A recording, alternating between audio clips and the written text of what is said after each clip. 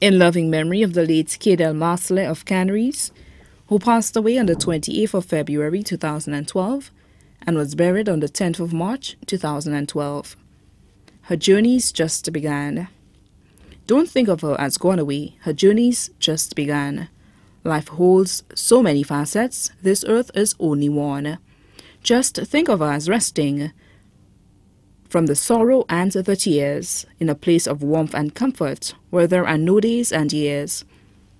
Think how she must be wishing that we could know today how nothing but our sadness can really pass away, and think of her as living in the hearts of those she touched.